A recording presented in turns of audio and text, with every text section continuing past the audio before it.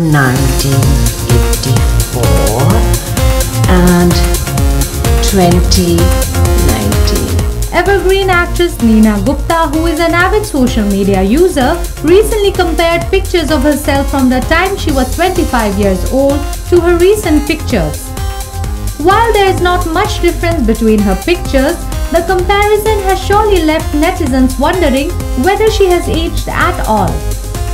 Looking at the actress's photographs, there's another thing that we know about her, which is that she is a fan of minimal makeup and monochrome pictures. Meanwhile, on her work front, Neena will soon be seen in Ayushmann Khurrana's Shubh Mangal Zyada Saavdhan.